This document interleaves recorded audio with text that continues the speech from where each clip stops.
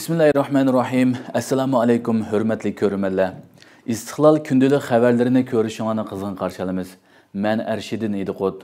Tövəndə vətənimiz Şərqi Türkistan və dünya gün tərtibiga əlaqədar mühim xəbərlərini huzurunuza sunumuz. Qani diqqətinizlər ekranımızda bolsun. Amerika türlük bastırışlarga çetilgan Xitay əməldarlarına viza çəkilməsi icra qılmaqçı. Amerika hökuməti dini və etnik cəhətdən bastırışqa çetişlik Xitay əməldarlarına viza çəkilməsi qoyduğanlığını təkidlədi. Amerika avazının bu vaqtdagi xəbərdə bildirilishicha, Amerika Tashqi ishlar ministrligi 12 iyul chatga qag'ilgan diniy va etnik guruhlarni bostirish harakatiga qatnashgan Xitoy amaldorlariga viza cheklamasi ijro qilish uchun qadam bosqichlarning davomlashayotganligini jakarlagan. Amerika Tashqi ishlar ministrligi bayonotchisi Mesyu Milliy bu vaqtda e'lon qilgan bayonotida Amerika Xitoydagi insoniy huquqlarni qo'g'dash uchun aloqador kishilarning javobgarligini surishta qilishni davomlashtirdi degan. Bayonotda xitoy insoniy huquqlarni hurmatlash va qo'g'dash majburiyatini ado qilmaydi deganlar ta'kidlagan bo'lib sharqiy turkistonda davomlashayotgan irqiy qirg'inchilik va insoniyatga qarshi jinoyat xong kongda bostirilayotgan tub erkinlik tibatda dafsani bo'layotgan insoniy huquqlar va dunyoning har qaysi joylaridagi davlat xalqi bostirish masalalari tilga ilingan bayonotda yana biz xitoyni dunyo inson haqlari xitobnomasida bayon qilingan prinsiplarga rioya qilishga bu yil uning inson haqlari xotirasiga nisbatan umumiy tekshirish jarayonida o'tirg'a qo'yilgan ko'plagan tavsiyalarni qabul qilishga jumladan xohlagancha va adil bo'lmagan holda tutqun qilgan kishilarni sharsiz qo'yib berishga chaqiramiz deyilgan.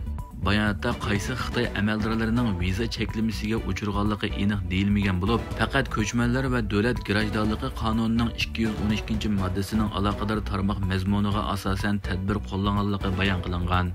Ko'chmanlar va davlat grajdonligi qonunining moddasiga asosan agar ma'lum bir chet ellikning amerikaga kirishi amerikaning diplomatiya siyosatiga jiddiy salbiy ta'sir ko'rsatadigan bo'lsa uning amerikaga kirishiga ruxsat qilinmaydi ekan. Xitoy bilan arab birlashma xalifaligi sharqiy turkistonda birlashma mashq boshladi. Xitoy bilan arab birlashma xalifaligining shunqor qalqini 2024 nomli havo armiya birlashma mashqi sharqiy turkistonda boshlandi. Xitoy xabarlari to'rining xabar qilishicha xitoy bilan arab birlashma xalifaligining hamkorligidagi shunqor qalqini 2024 nomli havo armiya birlashma mashqining boshlanish murosimi 10 iyul sharqiy turkistonda o'tkazilgan. Xitoy va arab birlashma xalifaligining mashqqa qatnashgan ofitser askarlari arab birlashma xalifaligining xitoyda turishliq elchixonasining muavin harbiy amaldori murosimga qatnashgan. Başlanış murosimida Xitoy Arab Birlashma Xalifaligining mashqqa qatnashgan askarlari səb tuzib tizilgan. İki tərəf qo'mondonlari bir-birining uchquchlar vakillariga birlashma mashq belgisi taqab qo'ygan. Murosim oxirlashgandan keyin mashqqa qatnashgan askarlar bekitilgan plan bo'yicha mashq maydoniga yo'tkalgan. Bildirilishicha, birlashma mashq 7-oyning oxirigacha davom qiladi ekan. Bu Xitoy bilan Arab Birlashma Xalifaligining ikkinchi qitim Shunqar qalqini nomida havo armiyasi birlashma mashqini tashkillashi bo'lib, bulturqi tunji қытымлық Shunqar қалқының birlashma harbiy mashqimi o'xshashla Sharqiy Turkistonda o'tkazilgan. Xabarda birlashma harbiy mashqdagi maqsadning ikki taraf havo armiyalari orasidagi almashtirish va hamkorlikni cho'nqurlashtirish ekanligi bildirilgan. Ammo birlashma mashqning Sharqiy Turkistonning qaysi joyda o'tkazilganligi haqida ma'lumot berilmagan. Xitoy yaqinqi yillarda arab davlatlaridagi ta'sir kuchini zo'r darajada oshirgan bo'lib, arab ellari bilan Amerika boshliq g'arb dunyosining munosabatining yiriklashishiga ergishib, fursatdan foydalangan Xitoy iqtisodiy, harbiy, siyosiy aloqani tiximi kuchaytgan. Buningga mos holda Arab Birlashma Xalifaligiga o'xshash davlatlar Xitoyning Sharqiy Turkistondagi irqiy qirg'inchilik jinoyatiga ko'z yumib qolmay, yana Xitoyning bu terror siyosatlarini maqtagan. Xitoy bilan Rossiyaning birlashma harbiy manevri diqqat qo'zg'amoqda. Xitoy Rossiya bilan Xitoyning janubida birlashma harbiy manevr boshlaydiganligini jakarlagan bo'lib, shu kuni Yaponiya hukumati davlat mudofaasi aqtashliq kitobini e'lon qilib, Xitoy Rossiya munosabati keltirib chiqargan bargan sir eg'irlashayotgan tahdidga qarata andishini bildirdi. Fransiya xalqaro radiosining 12 iyul xabar qilishicha, Xitoy mudofaa ministrligi Xitoy bilan Rossiya armiyasining 7 oyning boshlarida Birlashma dengiz 2024 nomli harbiy manevrni boshlaydiganligini, manevrning 7 oyning o'ttirlarigacha davomlashadiganligini bildirgan. Bu vaqtdagi uchurda xitoyning janubidagi guangdong o'lkasining janjang shahri atrofida o'tkaziladigan mazkur dengiz va havo harbiy manevrining ikki tarafning dengizdagi bexatarlik tahdidiga birlikda taqobil turish dunyo va rayon tinchligi ham muqimligini qo'g'dash irodasini va iqtidorini namoyon qilish maqsadida ishga oshadiganligi da'vo qilingan. Xitoy taraf bu manevr orqali xitoy bilan rossiyaning yangi davrdagi strategik hamkorlik munosabatini cho'nqurlashtirganligini bu manevrning bejing bilan moskvaning yillik harbiy aloqa planiga asosan ishga oshadiganligini bildirgan. Bu xabar vashingtonda shimoliy atlantik ahdi tashkiloti yig'ini o'tkaziladigan bir paytda e'lon qilingan. Nato bu yig'inda rossiyaning tajovuzchiligiga qarshi ukrainani qo'llash maydonini yana bir qitim ta'kidlagan edi. Va shundoqla urushda xitoyning rossiyaga yordam berayotganligi qattiq iboralar bilan tanqid qilingan edi.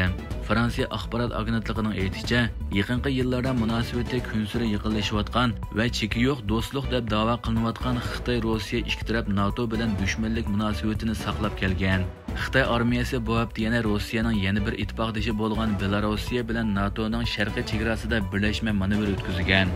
Yaponiya hukumati juma kundagi bayonotida xitoy bilan rossiyaning yaponiya zimini atrofidagi birlashma harbiy faoliyatining davlat bexatarligi nuqsini elib aytganda ig'ir andisha paydo qilganligini ta'kidlagan.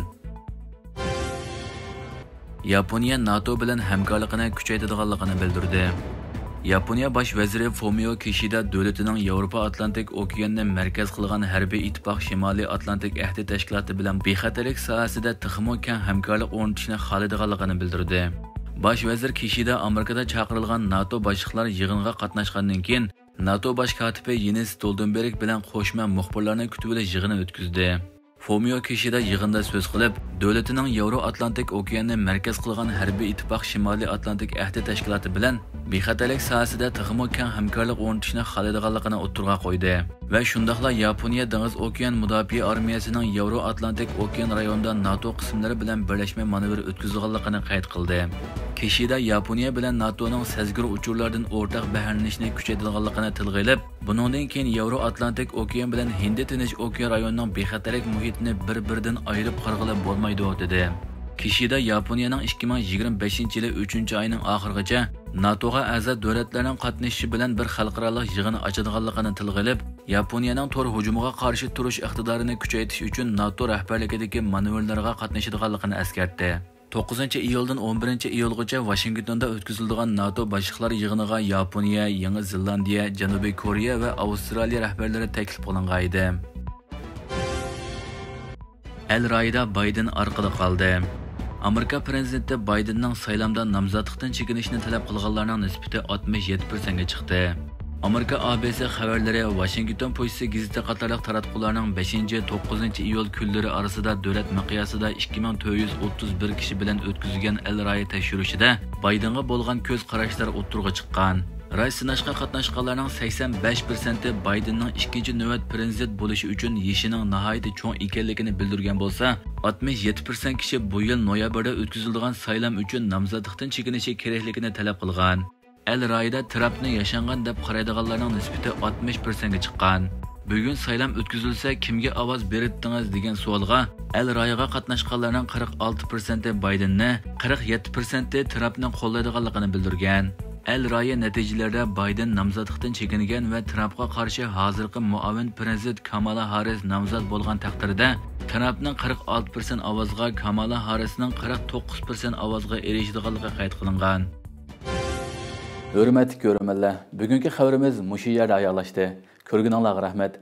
Ətki proqramında görüşkəcə aman bolğaysızlar. Allah amanət.